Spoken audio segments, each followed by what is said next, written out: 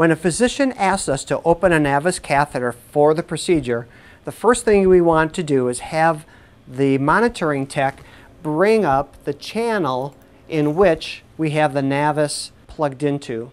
In this case, it is channel 2. Because the RXI system sends a zero when there's no catheter plugged in, we can immediately have the monitoring tech zero that channel. Now we're ready to have the patient's aortic pressure and the Navvus catheter displayed on the cath lab hemodynamic system. Now we're ready to connect the catheter into the RXI system.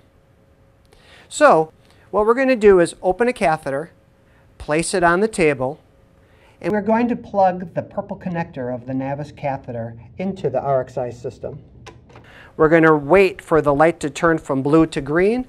At this time, we can go ahead and flush the hoop with saline and then remove the catheter from the hoop and introduce it into the body.